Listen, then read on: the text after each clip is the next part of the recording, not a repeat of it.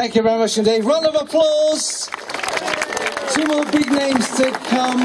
They don't come much bigger than the next name. If you think of the offshore radio stations, uh, all the big names, who remembers Twiggy? Oh, yeah. Roger Twiggy Day.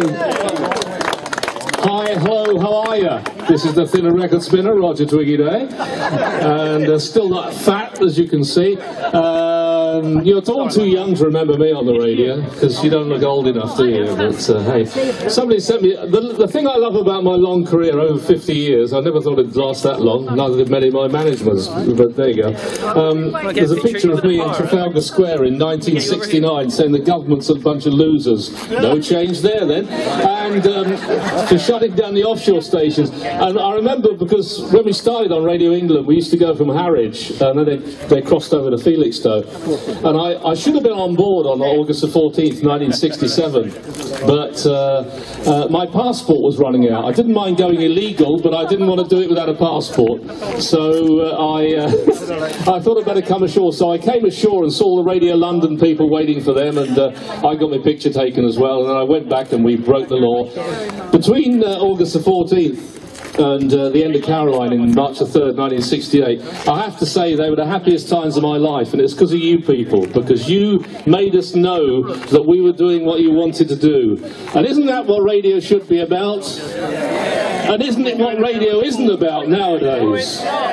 It is so bloody boring, isn't it? Good God, how could they make radio so boring? It's terrible. Anyway, the good news is Caroline's going to be on on AM uh, very soon, so uh, it'll be like the good old times as well. And Deluxe Radio. You didn't mention me going to be on there, did you, you swine? I didn't get around to you. Typical. He was always the same. When I worked with him at Luxembourg, always, we used to meet girls in the evening, and he said, don't worry about Roger, he's married. Little swine. He could be such a bugger. You're awful, man. I know. But I'd like to thank you people for making all our lives fantastic because we didn't do it for the money, obviously. Uh, we don't get paid two and a half million like certain people. Um, we did it because we loved the music, and that's all we wanted to do. None of us could sing. Well, Princey could. Um, See, I said something nice about you. Shall I sing you a song? Indeed. Uh, Um, but I shall only remember Felixstowe with happiness. When I was when I was going out on the tender to the ship from here, I thought I'm going home. And when I when I got in that studio in Caroline, I knew I was home because I was in the front room with you people. And uh, yeah, people used to write in and say, "Oh, we're listening to you in the bath," and I say, "Oh no, I can see you." some people used to believe it actually, unbelievable. But yeah, thank you for making you know me look so young after all these years. You know, they're boys' good looks, and uh, it's because I still get letters of support saying, you sound just the same as you did in 1967. I said, yeah, it hasn't bloody improved, has it?